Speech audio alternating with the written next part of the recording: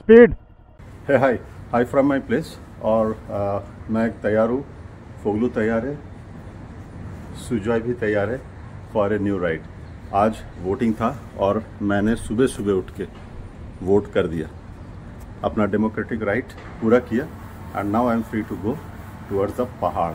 आज का जो डेस्टिनेशन है मोस्ट प्रॉब्ली शायद चोपटा चोपटा से आगे जाने का कोशिश करूँगा। जय गंती बप्पा। हर हर महादेव। सात बज के चालीस मिनट हो रहा है और मैं निकल चुका हूँ एक और छोटा सा राइड, सुंदर सा राइड, शॉर्ट सा राइड, तीन दिन का छुट्टी है। तो आज का डेस्टिनेशन जो है, मैं चोपटा से आगे निकलने का कोशिश करूँगा।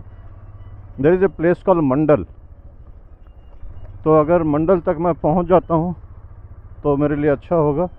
रीज़न बहुत सिंपल है, क्योंकि यहाँ से मंडल इज़ ऑलमोस्ट ऑल साढ़े चार सौ किलोमीटर। सुबह सुबह का मौसम थोड़ा थोड़ा गर्माहट थोड़ा थोड़ा ठंडाहट।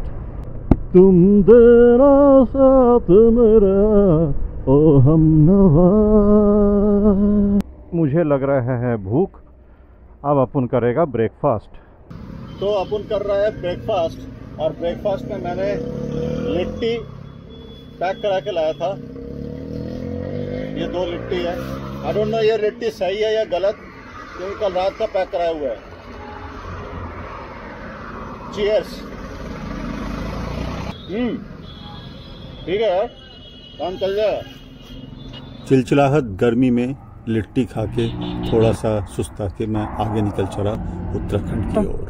देवभूमि उत्तराखंड में आपका स्वागत है। इसी वेलकम टू हरिद्वार। एग्जैक्टली तीन घंटा बीस मिनट। यस जय भोलेनाथ हर हर गंगे। ऋषिकेश से करीबन पंद्रह बीस किलोमीटर दूर। और ये हाल है। स्पीड होगा क्या? स्पीड नॉर्मल होगा। फुल कर दो। यहाँ पे आके ट्रकों का बीच में, ट्रकों का गुंडागर्दी में फंस गया। गर्मी है भाई, बहुत ज़्यादा गर्मी है। भीग गया। फोगलू का मीटर 46 डिग्री दिखा रहा है। ऋषिकेश की भीड़ भाड़ वाली गलियों से निकल के अभी पहाड़ों वाली गलियों में आ गए हैं। नो ट्रैफ़िक नो झंझट नो नथिंग कुछ नहीं है। बस मुझे बहुत तगड़ा सा प्यास लग रहा है। कहीं पर गन्ने का जूस वगैरह दिख जाए तो वहीं पर बैठ के थोड़ा सा टाइम पास कर लेंगे। जो भी जो मिले, धूप में मिले, छाँव की ठंडी साए। आई थॉट, यहाँ पे रुक के थोड़ा सा मज़े ले लेते हैं पानी का। Just see the green water चारों तरफ़। ओह what a place man what a place रास्ते में मुझे एक छोटा सा हनुमान जी का मंदिर मिल गया जहाँ पे मैं फोगलू को खड़ा करके थोड़ा सा नज़ारा लेने के लिए थोड़ा सा ठंडा में सुस्ता लिया। फोगलो बहुत मस्त जगह है। क्यों सुजाए जगह ठीक लगा तेरे को? अच्छा लगा। चलो चलते हैं। लेट्स गो चीयर्स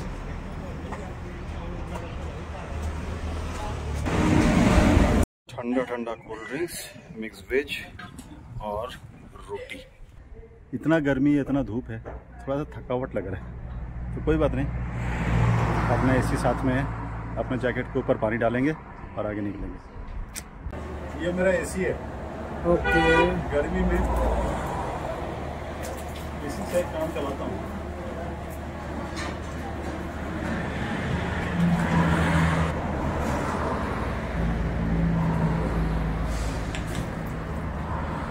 यहाँ से लेफ़्ट लेगा टुवर्ड्स रुद्रप्रयाग बाईपास रोड ये राइट को बद्रीनाथ के लिए जा रहे हैं और इधर आके मैं चोपटा टुंगनाथ जी मखूमठ इस तरफ़ के लिए निकल जाऊँगा। शाम को चार बज के दस मिनट हुए हैं।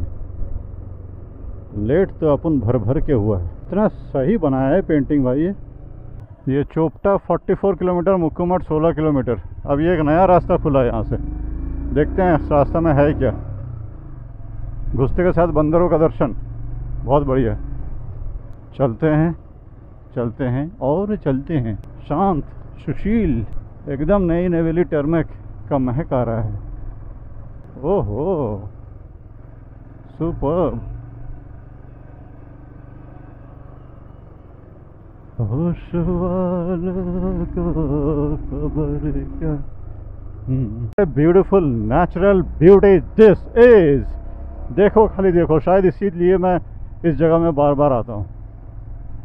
ओह हो ए ब्यूटीफुल प्लेस मैन जितना अच्छा रास्ता, उतना ही अच्छा मनोरम दृश्य। शाम के साढ़े पाँच बज रहे हैं, सूर्यास्त होने का टाइम हो रहा है, और मैं एक बहुत ही बढ़िया जगह से जा रहा हूँ। गोधुली लग्नों से जा रहा हूँ, गोधुली लग्न। यही वो टाइम है जहाँ पे गाय बछड़े सब वापस अपने घर आते हैं। इसीलिए इसको गोधुली लग्नों कहते हैं, इन बंगाली। मैं पहुँच गया मक्कू मठ। यहाँ पे टुंगनाथ जी का दर्शन करने को मिलेगा मुझे। जय बाबा टुंगनाथ जी की। और मैं पहुँच गया टुंगनाथ जी का मंदिर के सामने। ये रहा टुंगनाथ जी। बाइक मैं यहाँ पे खड़ा करूँगा। शाम के छः बज रहे हैं और मैं मक्कू मठ पहुँच गया।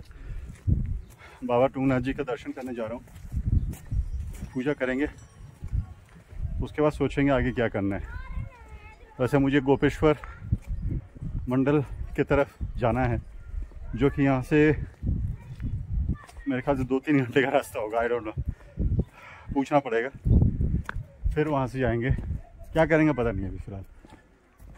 वैसे टुंगनाथ जी वर्ल्ड का हाईएस्ट शिवा टेंपल है लेकिन अभी फ़िलहाल टुंगनाथ जी को नीचे पक्कू मठ में रखा गया है जहाँ पे ये साल के छः महीने रहते हैं। बाकी साल के छः महीना जैसे मई से लेके अक्टूबर के आसपास तक ये ऊपर पहाड़ों में रह जाते हैं। मैं मक्कू मठ में टुंगनाथ जी का दर्शन करने के लिए पहुँच गया और शाम के आरती का टाइम हो रहा था और फ़िलहाल मेरे सिवा इस जगह में और कोई भी नहीं था।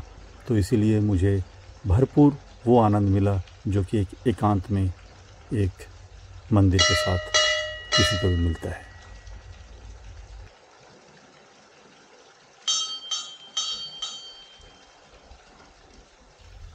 इतना शांति कि क्या बताऊँ, आसपास में कोई भी नहीं था।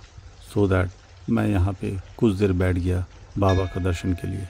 और उसके बाद, पूजा करने के बाद, मैं पंडित जी से थोड़ा सा गुफ्तगू कर लिया थोड़ा सा मन का बोझ हल्का कर लिया उनके सामने और आगे निकलने का तैयारी में जुट गया मैं। बाबा का दर्शन हो गया। अभी छः बज के चालीस मिनट हो रहा है और मैं अभी मंदिर से नीचे उतर रहा हूँ। मंदिर के जो पुजारी थे, उनसे बात कर रहा था। मैं उनसे पूछ रहा था कि आगे मुझे गोपेश्वर तक जाना है। तो उन्होंने मना कर दिया, बोला कि गोपेश्वर यहाँ से करीबन पैंसठ सत्तर किलोमीटर के आसपास होगा और एकदम से अंधेरा हो जाएगा और बीच में जंगल वाला रास्ता है which is not safe to ride through तो उन्होंने सजेशन दिया कि आप चोपता में उतर उतर जाओ, रुक जाओ। चोपता यहाँ से करीबन 30 किलोमीटर के आसपास होगा।